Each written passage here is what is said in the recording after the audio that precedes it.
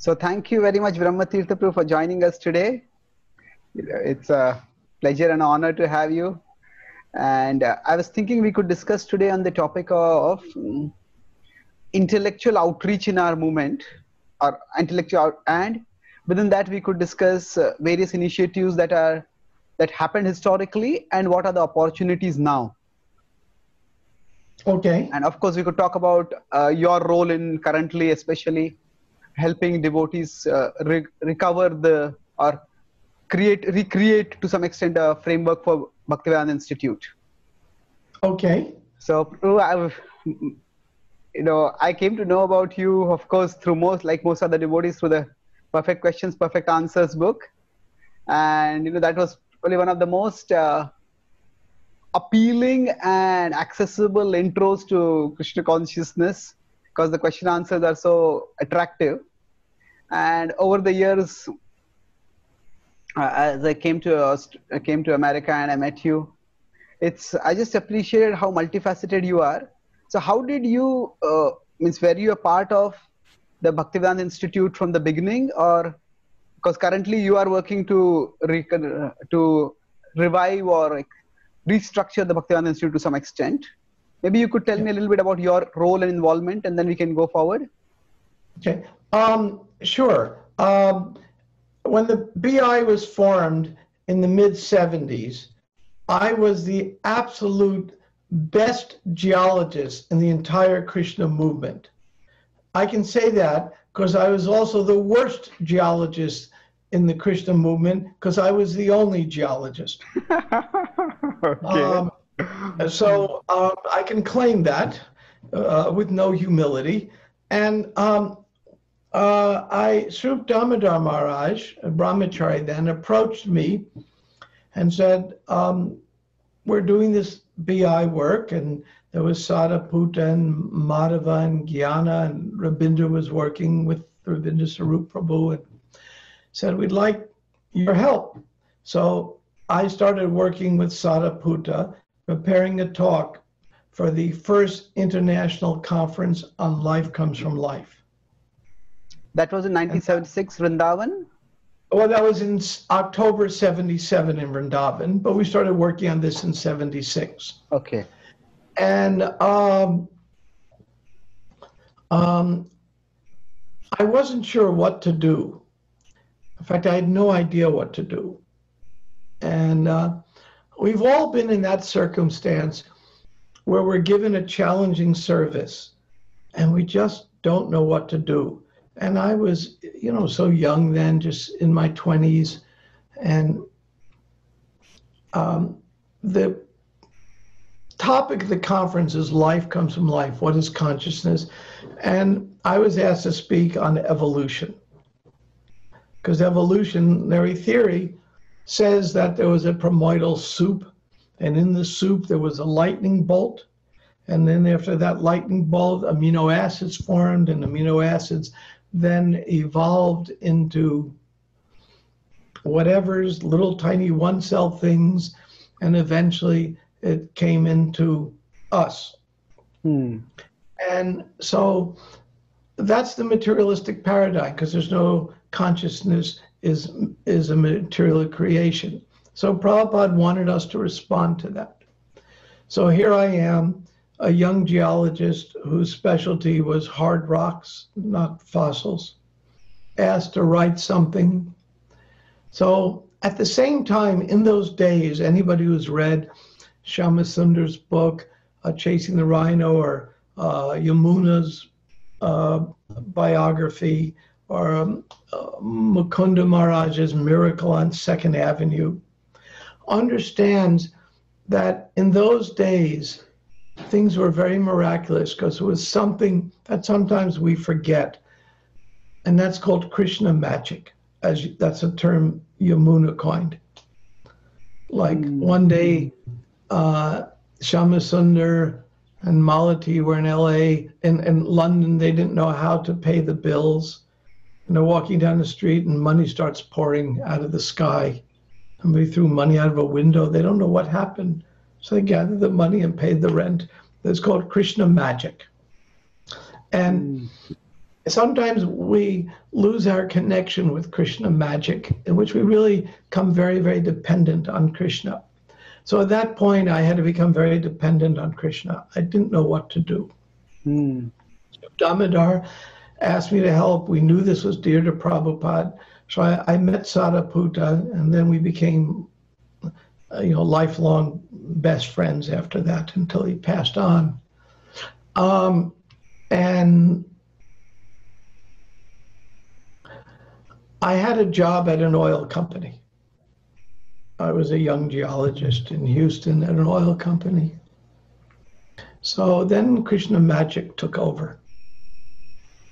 So I went, I told the company I was researching some geological theory for an oil well, which is sort of true, but that was the easy part.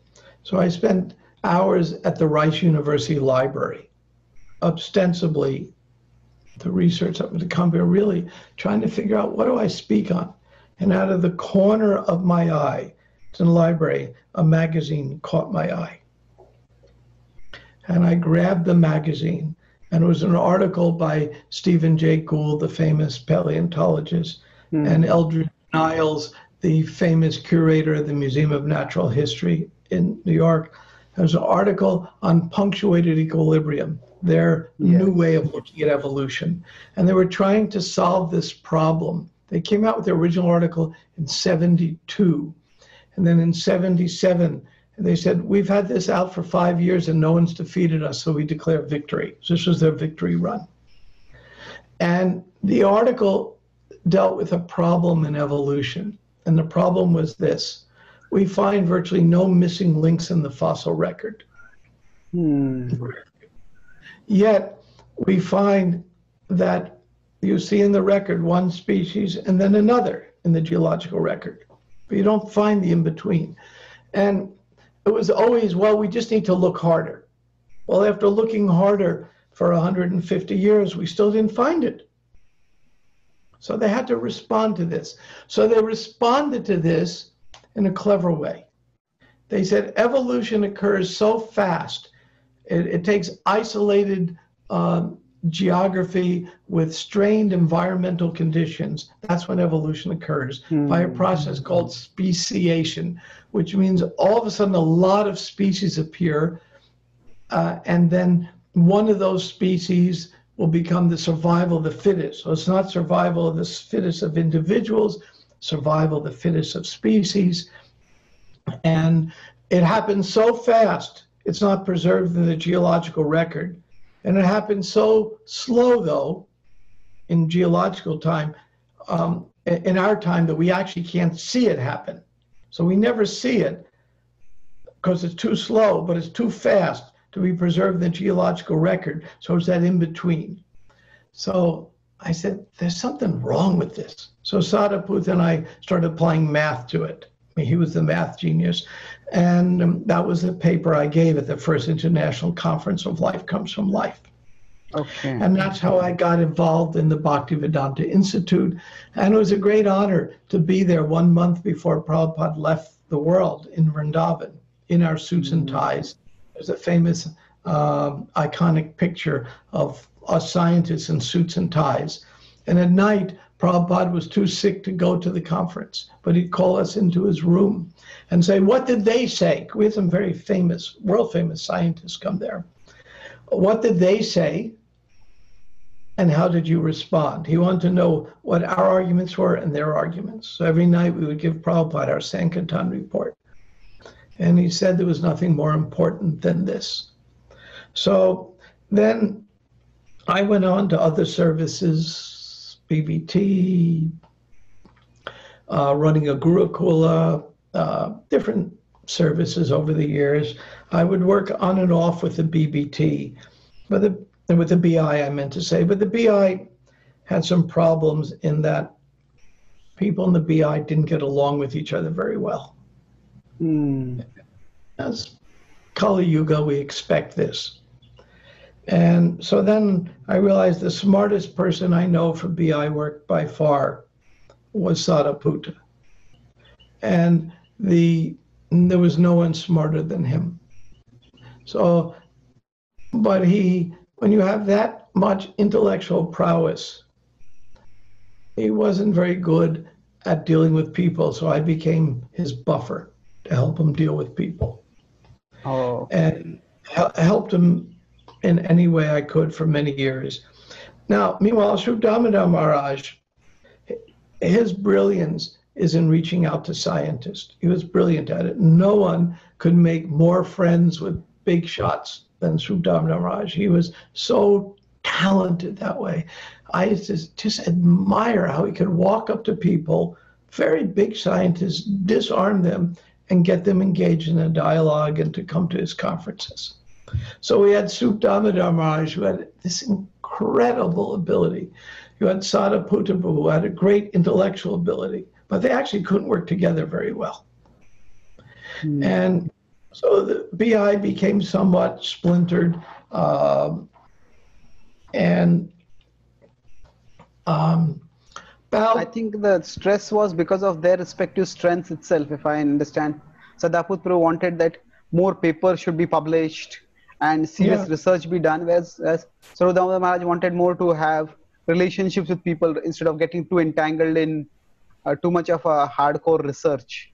So it is a different I, vision I, of, of yeah. how outreach could be done. Was it through more through networking and relationship building so that they appreciate us, or is it that we enter into their field and we actually do hard, uh, we we do deep research and present? So what was it is more a matter of vision that was that caused the differences, isn't it, to some extent? Some it is. I sat down with Rup Damodar Maharaj and I said to him one time, How do you see this? It's so hard for us to get along and manage. And he said to me this very smart uh, analysis. He said, In any organization, we have to have a balance between democracy and autocracy. That's interesting. In democracy, you have to have, you know, people have to be able to give an opinion. Even Prabhupada said sometimes we would vote who would be the leader. And then you need autocracy. Sometimes you just have leadership and, and make decisions. So he says to balance autocracy and democracy can be very difficult. And he admitted to me, he says, I am struggling to figure out that balance. He was very, you know, I really, very humble about it and very forthright. He says, and it hasn't worked so far very well. So he was struggling with how to figure it out. Damodar Maharaj was extremely intelligent, and he understood that this was a hard balance to achieve, especially when all of us were so immature. And people who work in the Bhaktivedanta Institute tend to be Brahmins, and Brahmins need to be facilitated, not managed. and and um, and there were cultural there were cultural differences. We had Indians, Americans, Europeans, and there were cultural differences. And so uh, understood that this was problematic, and he said, just you know, Krishna is just going to eventually reveal how we balance all this. And so things went on, and Sadaputa started writing a lot of books, and that was his real forte. And we both lived near each other and would meet every week. And so we worked together. And then he passed on. Sup Damodar Maharaj passed on, both very sad occasions. Um, Rasaraj Prabhu, um, uh, was a, a, brilliant physicist, uh, began his work. You know, he was doing his work in the 90s and up to now on um, uh, quantum physics and the definition of matter. Uh, so he, he found his niche for BI work. And what happened here is some devotees, Sunanda and the late Yamaraj and Sthitidhi Muni and Prishni and Tamraparni, they wanted to get Sadaputa's books back into print. Hmm. So they worked tirelessly for years getting the books back into print. Sunanda made a YouTube channel of Sadaputa, and I started working with them. And one day we were sitting together, and um, Tamraparni said, Let us make a BI out of this. And I had sort of given up that hope. And I said, okay, let's think about it. So we formed a BI branch and started. And I said, okay, I'm going to learn from all the right things Sadaputa and Sri Damodar did. And I'm going to learn from what didn't work. And I'm going to really take into my heart some of the instructions Sri Damodar Maharaj gave me, but was figuring out how to make it work, how to balance democracy and autocracy. And so we formed a BI with these principles. One, we're going to have, we're not, we're going to talk everything out. We're not going to have infighting. Everything's going to be according to Upadeshamrita, relationships among devotees. And we were by now mature enough to pull that off. We weren't 20 years ago mature enough to pull that off. If anybody really wants to be a naysayer, and we had two that way who were with us, I would take them out to Krishna lunch and suggest they find another service because we didn't want sniping. Then we decided to follow a very important instruction of Prabhupada. In 1974, Prabhupada sent a letter, I think it was to Rupanuga Prabhu, in which he said, I want all your PhDs. The idea of the BI was forming. Send me all your PhDs.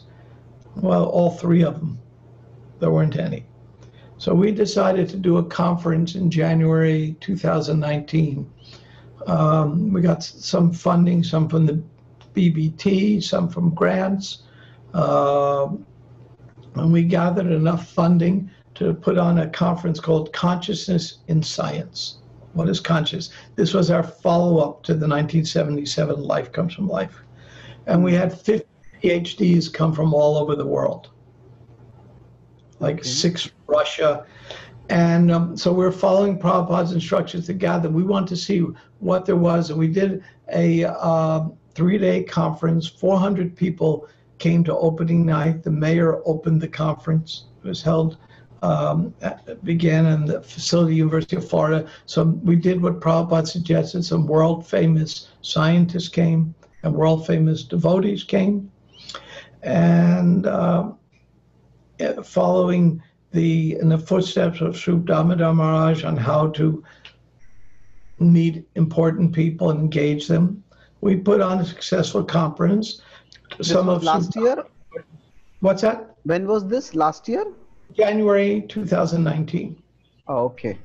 I have a video of this that we showed the GBC, and we invited some of the Sri Damodar Maharaj followers who were a little disenfranchised, with a really sweet, sweet sannyasis from India, and they came, and some other BI branches came, and um, we um, tried to see what are the talents we have that we can engage in Prabhupada's service of reconciling the issues of science and religion. And so now we developed a talent pool. Um, one of the great brain trusts that helped me figure all this out, I couldn't have done it without him, was Akhandadhi Prabhu. Because he was doing a similar initiative in England, and we got together, and he became my intellectual mentor to guide us on how to do this. And um, and of course, uh, people like Drutakarma Prabhu, who's one of the foremost Bhaktivedanta Institute scientists, and others helped us out. And um, we put on, by Krishna's grace, a successful conference. So now our Bhaktivedanta Institute, um, we're not the only Bhaktivedanta Institute branch, but um, we like to work together with others, and we're in the process of pulling together about five different books right now. One of them is called Krishna and the Quark by Murli Gopal. A, uh, Krishna and the and the Quark. Quark. Quark. Okay. You know, That's uh, good. Okay. That book is in final editing by the BBT. We're doing another book, unnamed. Is the Earth flat? By the way, the answer is no but that's based on fifth canto and Sadaputa's work in modern science. Another book uh, by Akhanda Dipu called The Atma Paradigm, which he's presenting every Thursday afternoon now from England, um, that is co- discussing can we understand consciousness as a purely material phenomena or is it not a material phenomena? And he had a very thorough uh, scientific and shastric analysis. Um, no, we have a series of books that we're working on. So that's what we do at the BI, and any scientists uh, and philosophers uh, who see this little dialogue and want to work with the BI are, of course, very free to contact us. Oh, okay. Wonderful. So a lot of that would be that was a paid advertisement. Thank you. so, now if we consider scientific outreach broadly, it would mean uh, that one is doing conferences, another is writing books. So these two, both things, you have achieved something significant or about to achieve something. That's uh, it's it's so the momentum is getting forward. I just like to backtrack before we come to this. When you said brahmanas need to be managed, facilitated, and not managed, that was a profound point. Could you elaborate what that would mean practically? I mean, if you have six Brahmins in the rule in a room and ask them what they want for lunch, there'll be seven seven choices. Because it's the way Brahmins are, are independent by nature. And um, what works best for Brahmins is to, um, like with Sadaputa, for example, the best thing I could do for him was facilitate his creativity by giving him the resources he needs. And and then encourage his creativity. It doesn't work well to suppress brahmins and in management sometimes the brahmins feel that way.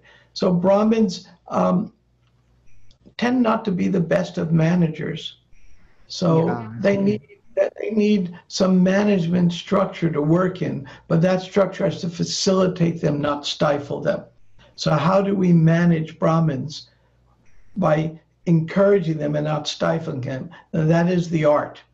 And Subdamadam Raj and I used to discuss it and used to reveal how what a struggle it is for him to figure that out. He was very humble about things. Mm. A real struggle to figure that out. And he struggled with it uh, just as I'm struggling with it. The advantage I have is I have 50 years of being in the movement. So I've made enough mistakes to know not to do the same mistake again. That's your humility speaking. But I have seen in your interactions with devotees also how you try to accommodate everyone. And probably your experience from mediation will also help in resolving issues.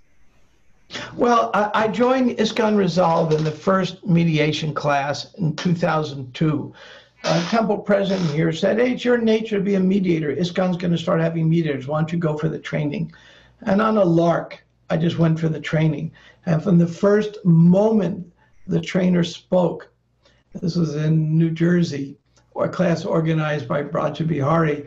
Um, the first moment he spoke, I moved to the edge of my chair. I was stuck because I had a problem, a personal problem, and I saw my way out of it through mediation. I'll reveal the personal problem. In the Gita, we talk about Samadarshana, the self-realized hmm. soul will see, you know, the Brahmin, the dog, the dog eater, the elephant, all is the same. That wasn't my life. I saw devotees, I saw karmis, I saw right, I saw wrong. I was seeing the world more black and white than I knew was reality. And I, I was very dissatisfied with myself seeing the world like that. But I didn't know what to do.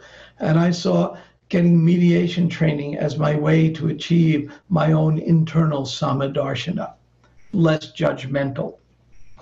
So I took to the training and I did a ton of training, I mean, thousands of hours of mediation training. And uh, now uh, that's part of my seva for ISKCON is I do I mediate complex cases, um, and uh, it's just human nature for there to be conflict. This is discussed, especially in the eighth canto of the Bhagavatam. It, it, it's human nature, and uh, as devotees, we understand that flaw, and we can do better. And so ISKCON Resolve, the intention is that we can do better and uh, we can be less judgmental against each other and try to get deeper understanding. And about 80% of the time, uh, when some dispute comes to ISKCON Resolve, parties walk away with a solution they can live with. And that uh, papers have been written on this. Very few religions take up conflict resolution because religions tend to have a, a hierarchy. And the hierarchy um, can interfere with human relations. It can interfere with the instructions of Upadeshamrita. We need a hierarchy. Yet we also, more importantly, need good relationships. So ISKCON Resolve is just one little piece to help with that. We're, not the okay. solution to all the problems of the world, the problems of ISKCON, but in some little way, we're able to help with that. And so my own personal struggle with Sama Darshana has been helped a lot by ISKCON. Yeah. I don't want to judge. We all do it. But I, I you know, myself, I, I want to work on rising above friends and enemies because friends and enemies is purely the mode of passion. And uh, just like uh, even the demigods, they have their mode of passion, so they get in trouble. Like Indra was cursed by Durvasa Muni, and yeah. then they got defeated in battle. And what do they do? They approach Lord Brahma, and then, then in that discussion, when they approach Lord Brahma, and then Brahma goes to the causal ocean, approaches Lord Vishnu, who he's actually never seen, and he offers prayers. And in the prayers, he says, "You're in the mode of goodness." And I thought that was very significant. His prayer said, Lord, your pure goodness, meaning we're coming here with friends and enemies and passion, so help us raise our consciousness. So, as devotees, just like as devotees, every morning, all of us take a bath.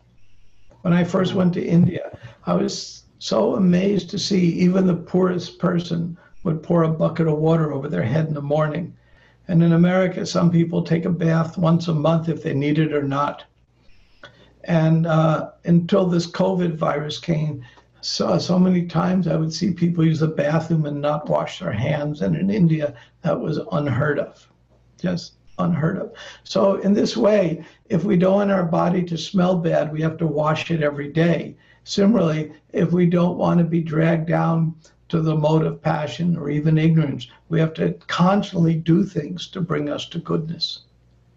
So, for me personally, working in mediation was a way to do it. Other people have other ways. I mean, uh, I'm not saying this is the only way or the best way. Just for me, that's what I needed. Mm, yes. So, actually, it's like Krishna's plan because, uh, in a sense, you have the right set of skills which could help in revitalizing the Bhaktivedanta Institute in many ways.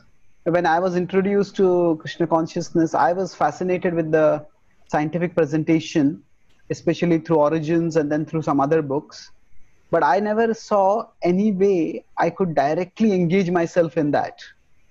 And so I, of course, studied whatever I could and I used whatever channels I had to write and speak. But uh, in general, it seems that uh, institutions and intellectuals have a difficult time going together and when I talk with several of uh, Prabhupada's disciples who were intellectuals, you know, most practically the whole movement was initially living in the temple. They were all brahmacharis, monks. But many of them left because they felt they saw no scope for intellectual growth in their life as brahmacharis. Because they would probably keep doing the same services again and again. Now, over the years, if I was introduced in 1996. And even the last 10 years or so, 10, 15 years, I've seen a significant difference. And there is more freedom given, more broadness of vision about you know how different devotees will need different amounts of space to be able to move forward in uh, in their particular services. So, is this a you have also interacted with other religions? This challenge of intellectual institutions is it there in every religion or every religious organization, or is it something more related with us? No, it's al- it's always there. Um, it's always a challenge. Um, it's a very important question you're asking, um, and uh, um,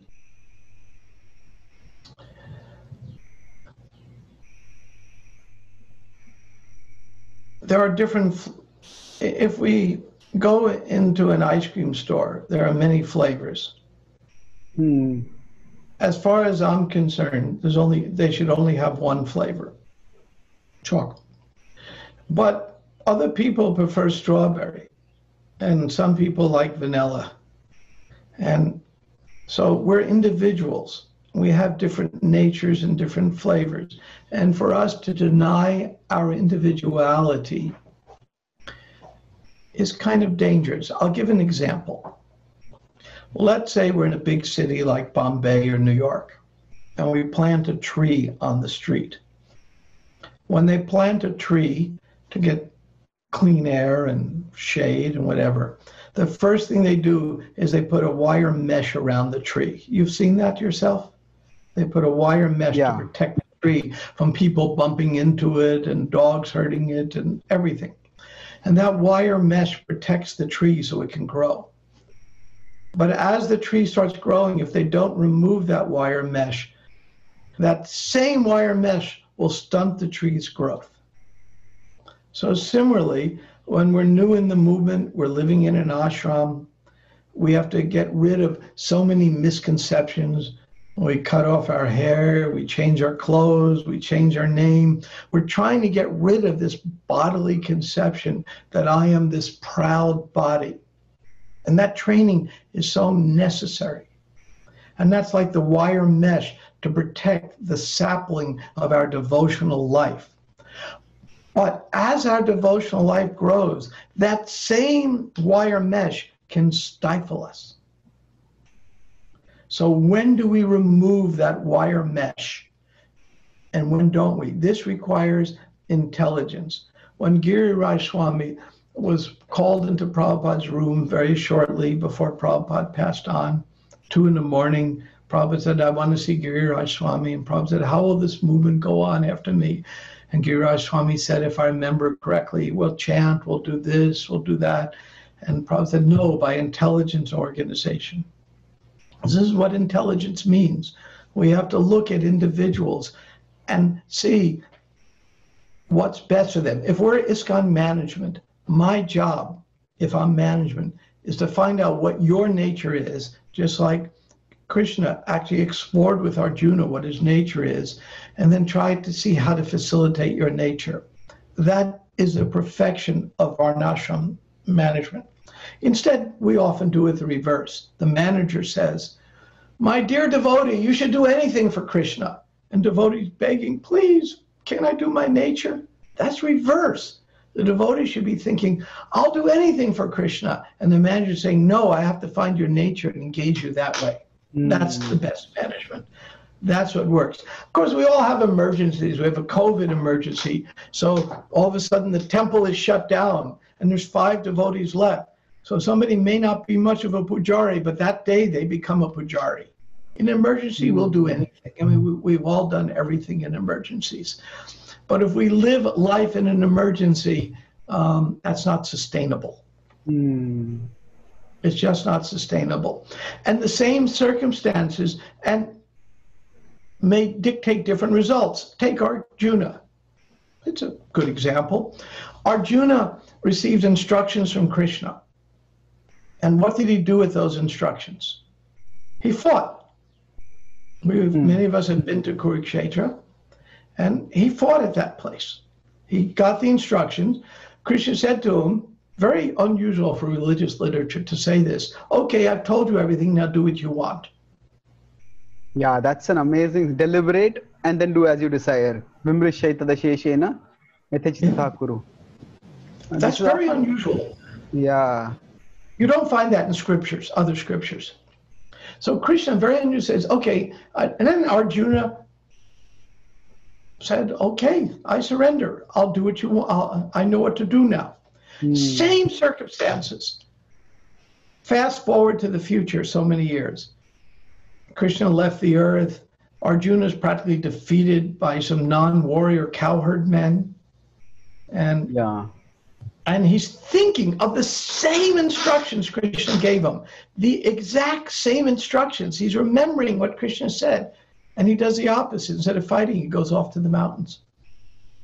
Same instructions, and he does the opposite thing. That's called intelligence.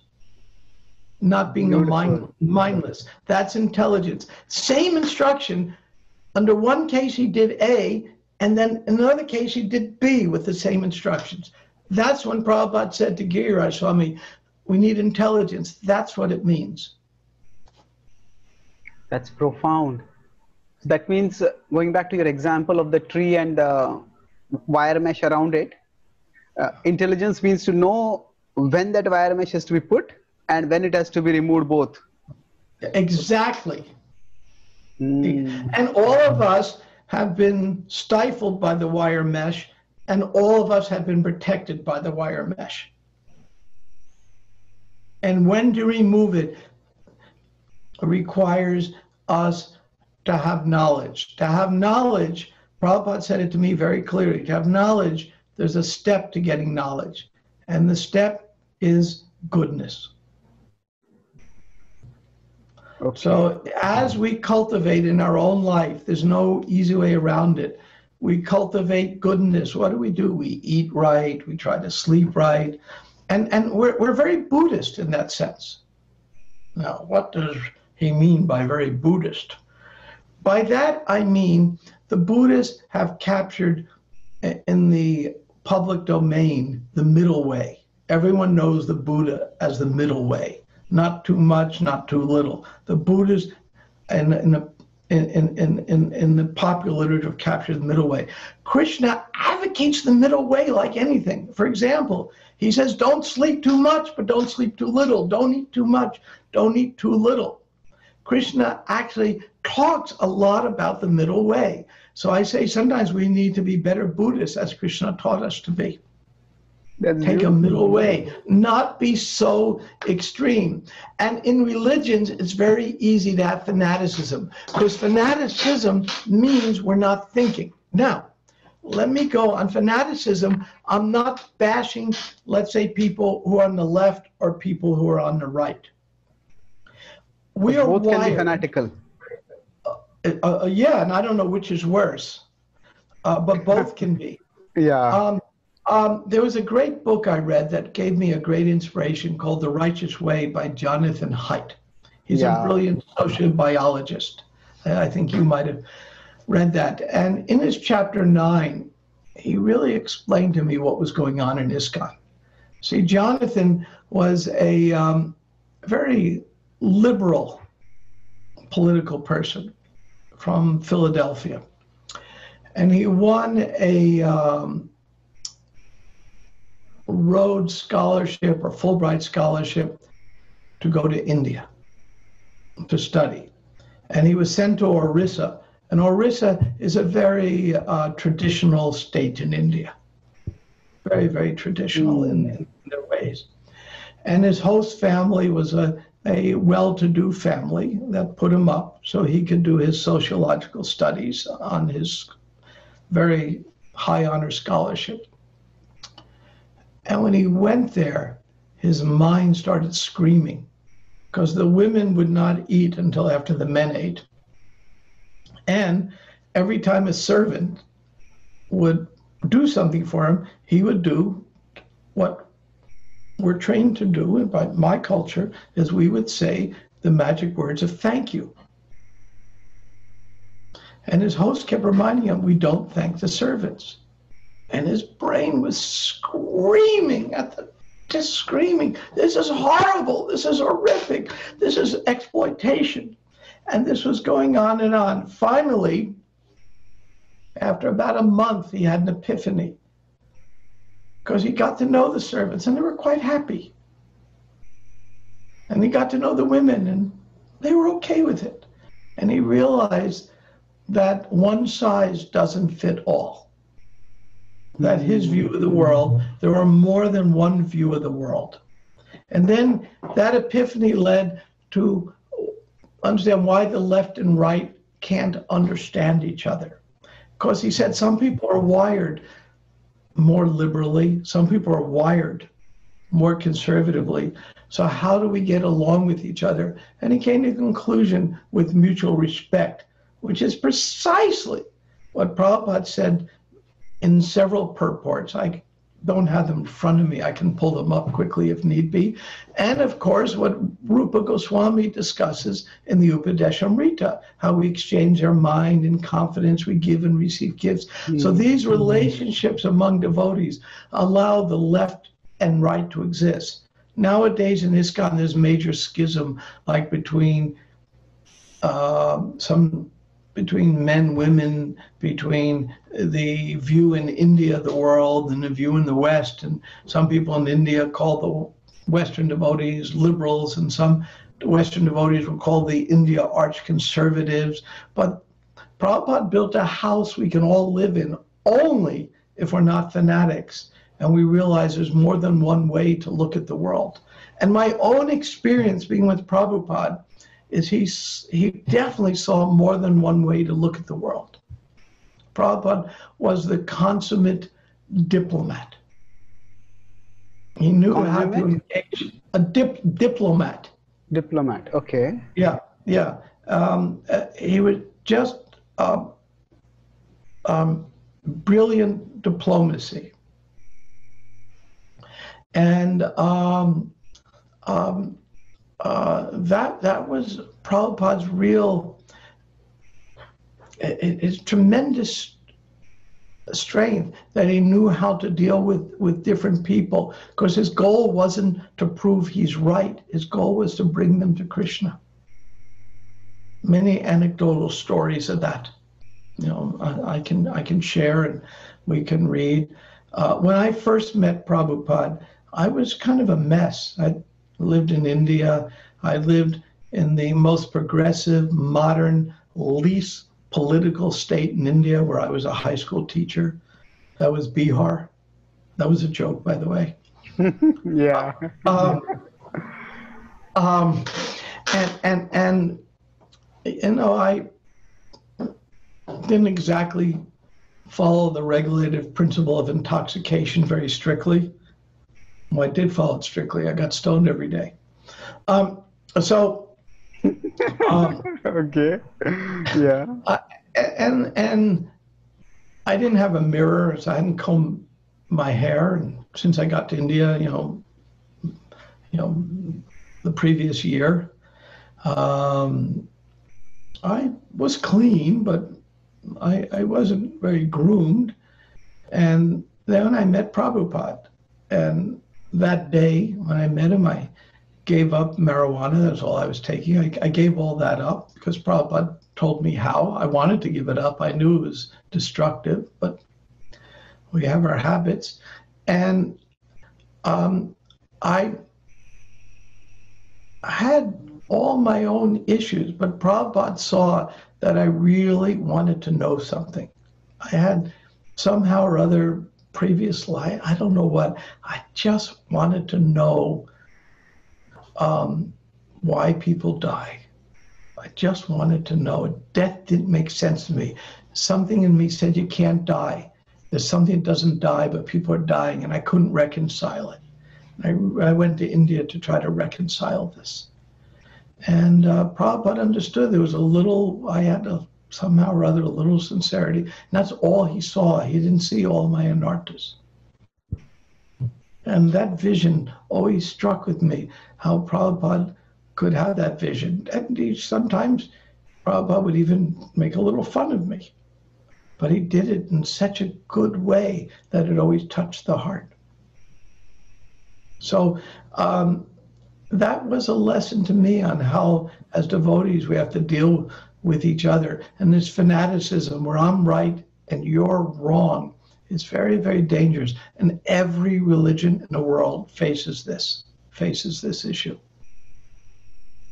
this the, the, the, the number one divisive issue right now among religions of the world is how to deal with people who are gay. It's the number one divisive issue. Mm. according to the scholars of religion. And now, different times, it's different issues. I know how Prabhupada dealt with it. I saw it. And um, um, There's several points. Yeah. yeah. Okay, go, go on. yeah, several points in what you said. First is that, uh, like, the universality of this conflict and your example of how Srila Prabhupada dealt with it. So that also means that uh, I, was struck by one point hierarchy interferes with the sixfold loving exchanges. That's such a such a vital point. As soon as somebody is, I have several friends, and they told me that you know as soon as they got a managerial position their friends stopped opening up to them and their man their managerial position started interfering with their uh, with their friendships.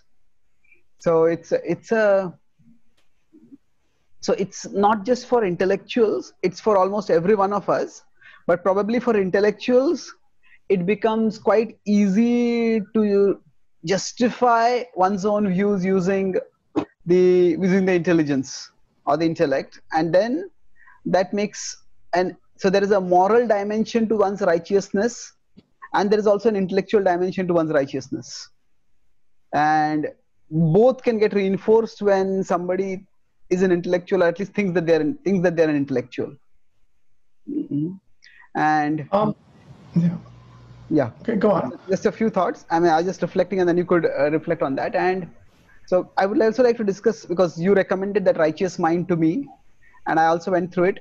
And I would like to discuss some specific points from that book to how they could Please. apply to our discussion, our, our movement's context. But any responses on what I spoke just now about hierarchy, Yeah. interfering, and friendship, and everything? we have to be Buddhists again. I know we take a middle way. I mean, it's obvious somebody becomes a manager. Um, you know, management means there's a pie, and the pie is never big enough, but you have to divide it. Hmm. It's hard. It, it, it, I mean, it's never big enough.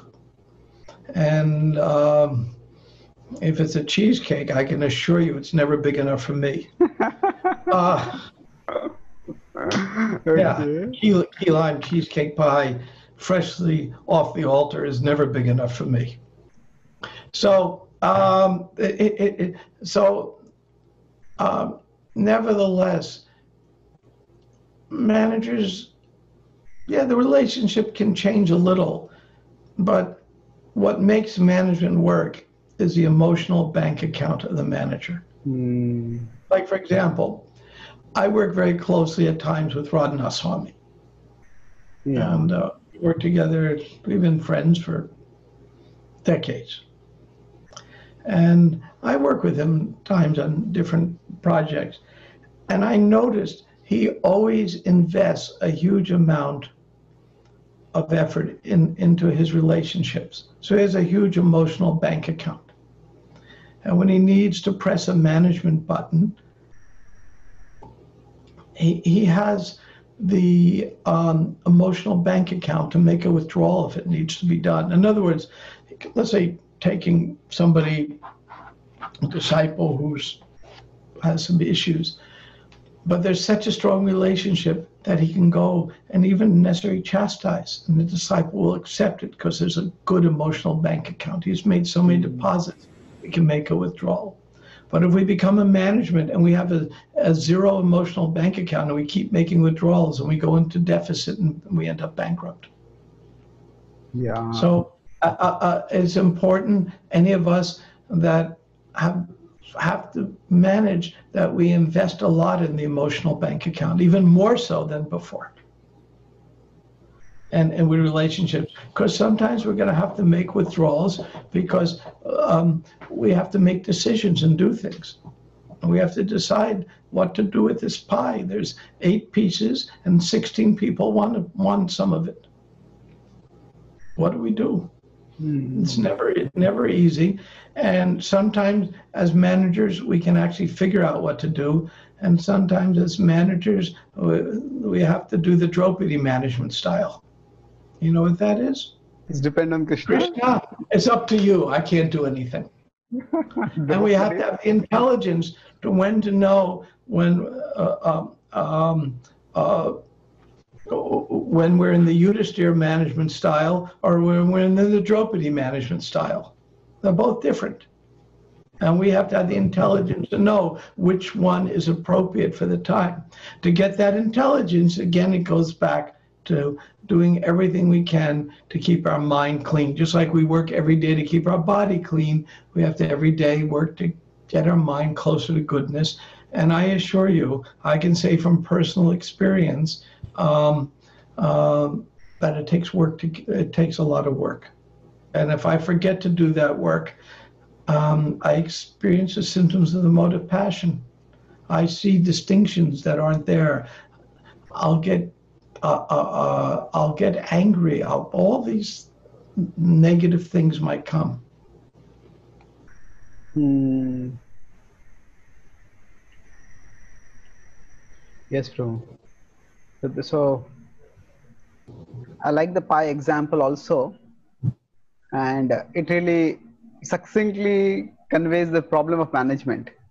So sometimes management forces us to do things which will be displeasing to some people. It's just the way it is. Mm. Now, going on to this uh, point of because we are discussing two distinct topics about, say, yes. the intellectual aspect and the liberal conservative. So, you mentioned how you found Prabhupada was quite accommodating so that devotees will be encouraged to practice bhakti. Mm-hmm. So now there is also this aspect that uh, when I studied Jonathan Haidt's book, he mentions that there are there are certain things which everybody values. For example, fairness, kindness. But there are three things which he says that uh, which there's a difference. There is uh, authority, morality, and purity.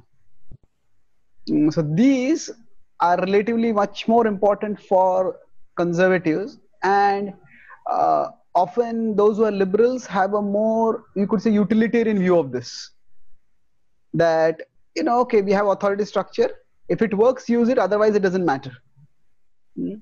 and similarly sanctity so with respect to sanctity I, after i have been in india and i traveled abroad i've seen one significant difference that say for many indians just the physical body of the text the Sanskrit recitation of the verses, that has, you could say, a lot of sacramental value.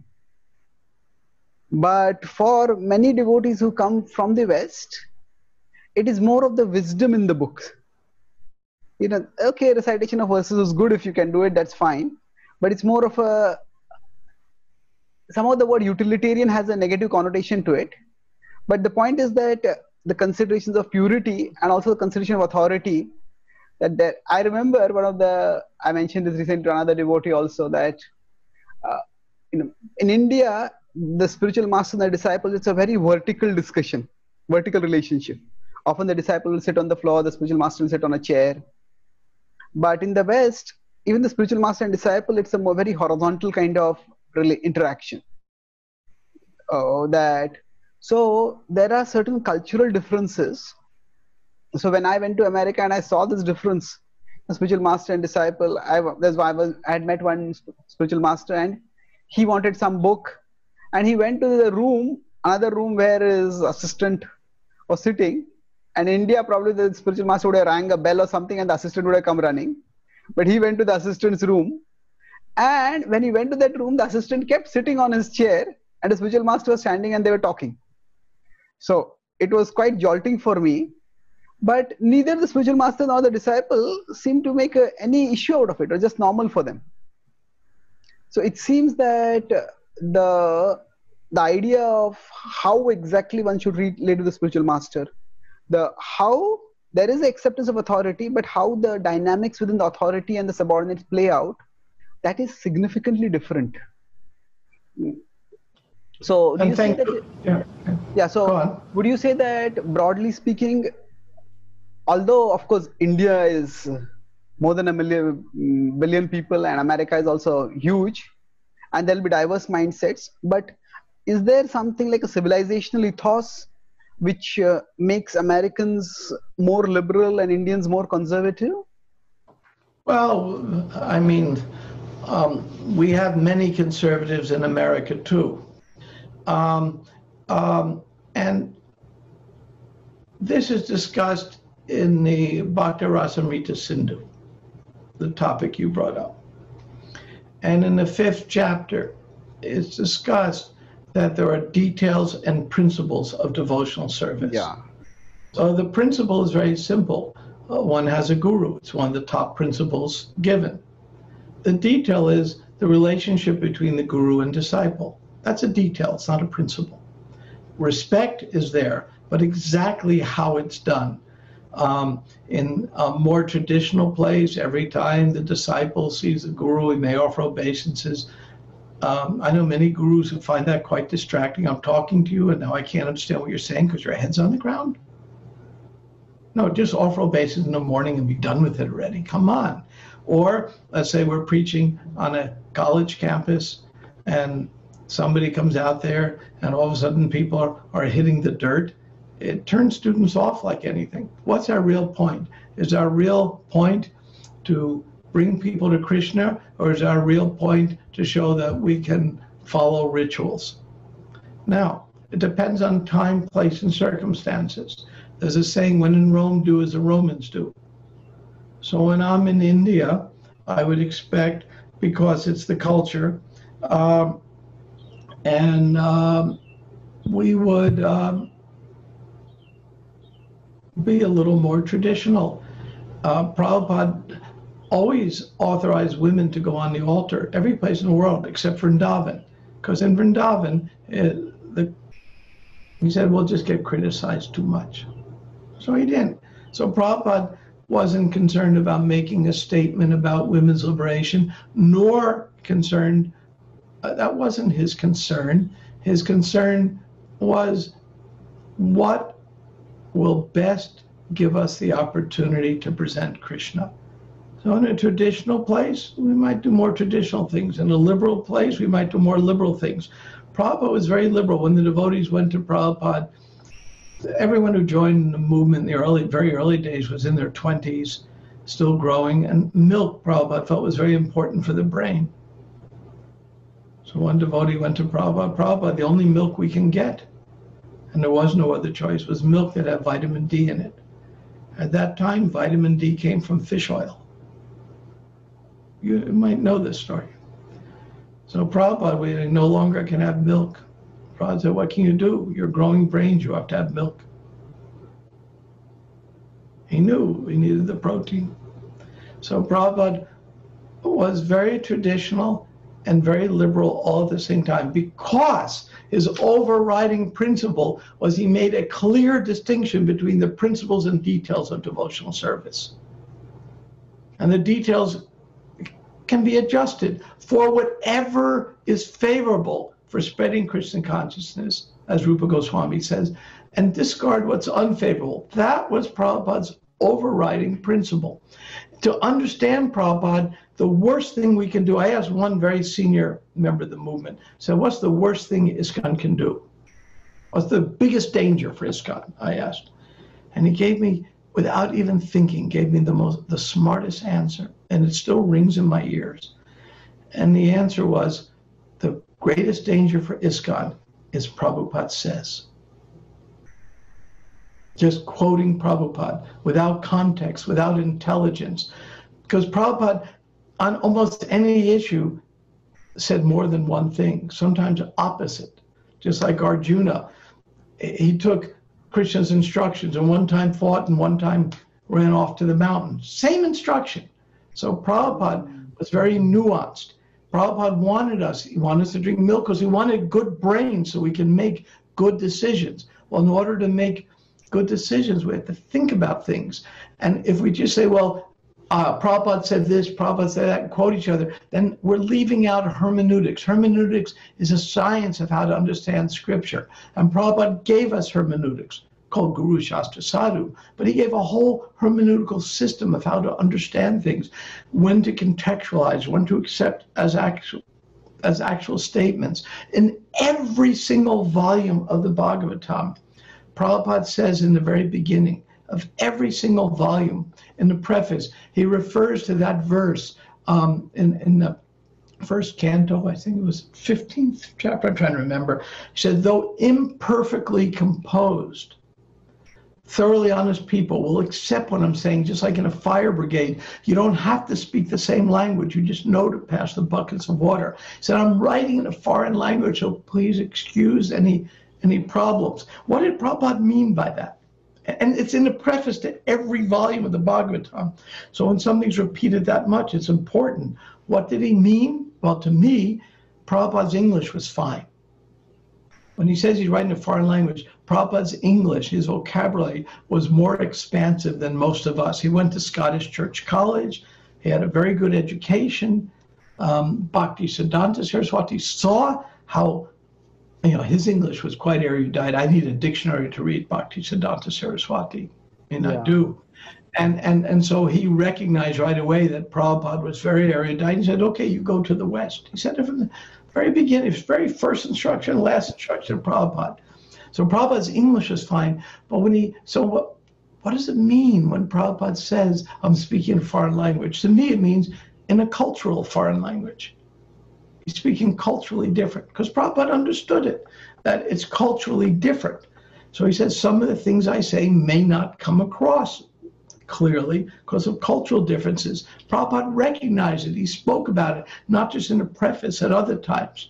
So that means it takes some intelligence to understand what Prabhupada is saying. And if we just quote Prabhupada each other, then we don't understand each other. I'm not saying we don't quote Prabhupada. I quote Prabhupada all the time. I hope everyone in the movement is quoting Prabhupada.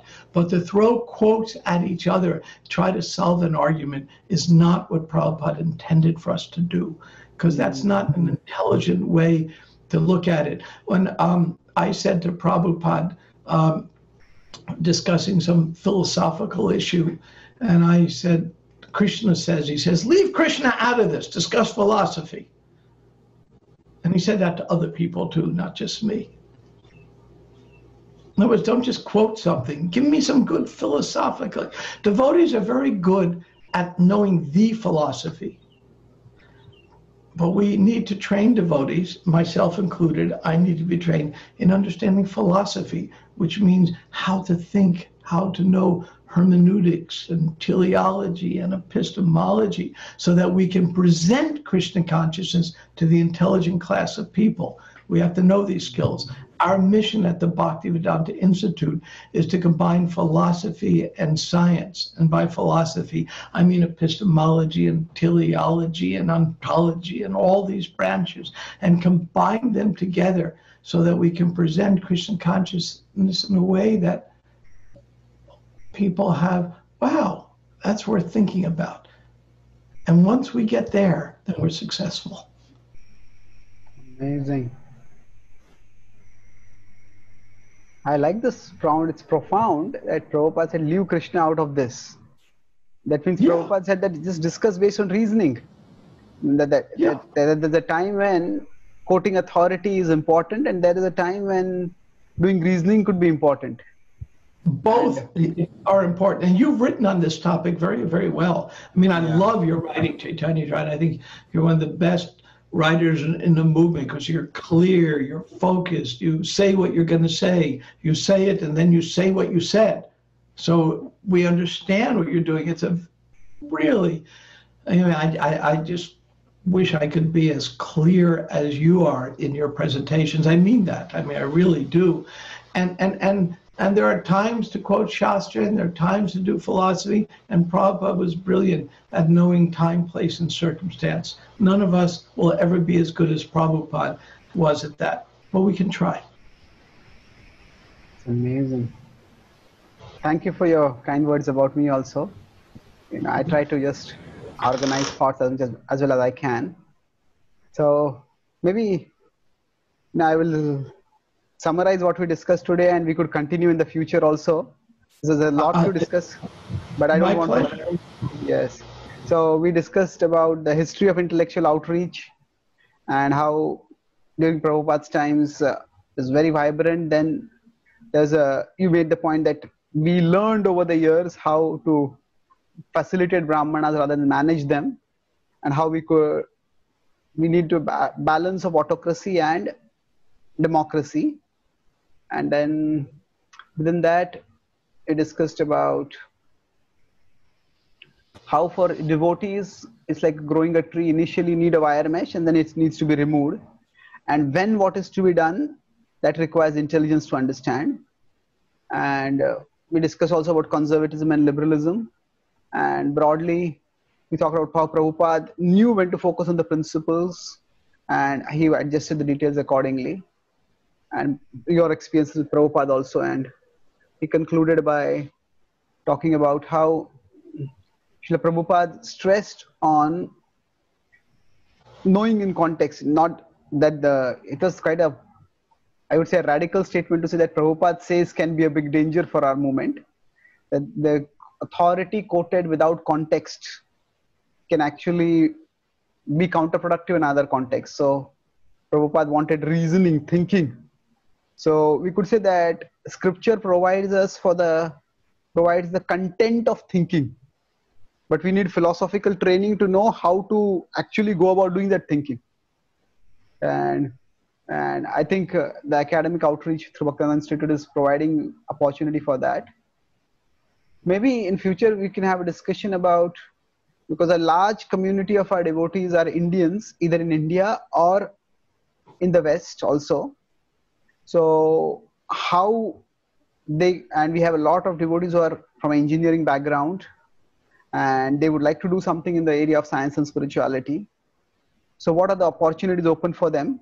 Maybe we could discuss that in a future session if you would be willing to. I would love to. I would love to. I get emails two, three times a week now because we're starting to get um, some traction on our BI outreach and devotees that want to engage. We have something called BI Connect, which is an online forum that has biology, engineering, different divisions where devotees can break out into groups and discuss topics. And there's another conference I uh, I started and uh, I moderate uh, along with uh, Arya Devi, and that is uh, VAST, Vaishnava Advanced Studies. These are mostly for devotees with advanced degrees or devotees who have, like yourself, were very well studied. And uh, it's a confidential place where devotees involved in academics can discuss very hard issues in a, in a, in a private way. So we have uh, the vast resource. We have the BI Connect, which is we're go, we're going to start. We've been practicing it. Ramananda in England is doing this, and we're going to start rolling it out more publicly within the next month because now we got the kinks out of it, where devotees like this can engage. We're looking, you know, for writers, editors, many devotees who are involved in the sciences, especially Indians. I see this is what they often do they build a firewall and they have my day job and my devotional life and they don't mix because in the day i'm very scientific and at night i'm very devotional and there shouldn't be a mixing part of the bi's mission is to chop that knock that wall down because it doesn't have to exist but to knock that wall down well, we need good understanding of science, good understanding of philosophy, good understanding of Shastra. And with that, and that was Prabhupada's intent for the BI, for his devotees, that we can gradually bring that wall down. And um, it's hard work. And so uh, I w- love the opportunity to. Um, uh, Prabhupada once said about Indians, now, I don't know if this applies now, but he said it back then in the 70s. He said, Indians, they're only one step from Krishna, facing the wrong way. He said, the Americans, you're 10 steps, but you're facing the right way. Now, sociology has changed. I, I don't know how much that applies now as it did then, but um, uh, uh, Indians do have a special birth, and as Lord Chaitanya says, a special mission. Hmm. They have a special mission. And Prabhupada, uh, when he was with Indians, always reminded them of that special mission. So um, um, uh, the idea, uh, and when we create this artificial barrier, oh, Indians are better than Americans because they're more conservative, or Americans are better than Indians because they're um, the, uh, they have broader vision. Yeah, I hear people say this where these barriers are based on the false bodily concept that I am American and I am Indian, and that ruins the whole movement. Bodily concept doesn't help the movement. Okay. Okay, but we'll talk about that in the future. I think our time is about up because you have an, another interview coming, but you're a great interviewer. You bring out things that I didn't even know I had inside me. Oh, thank you. It was very insightful, and I look forward to having future discussions. Humble obeisances. Thank you very much.